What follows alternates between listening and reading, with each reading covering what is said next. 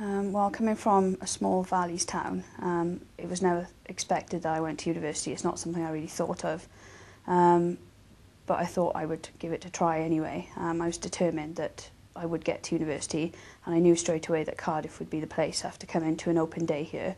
Um, everything ticked the boxes for me really. It was it's just fantastic.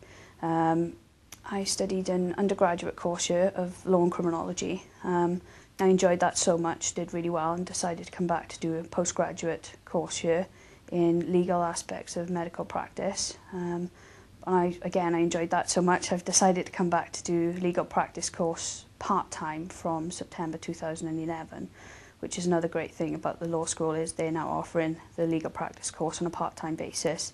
Um, so people who are working, you know, childcare, anything like that, they can go on and become, you know, solicitors if, if they wish.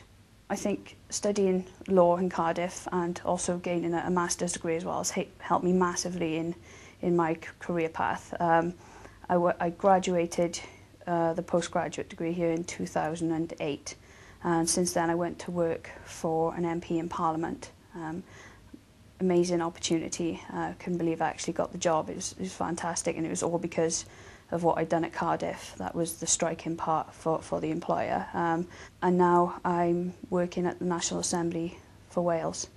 Um, again, I get to use a lot of my degree with the, the medical side of things and the legal side of things.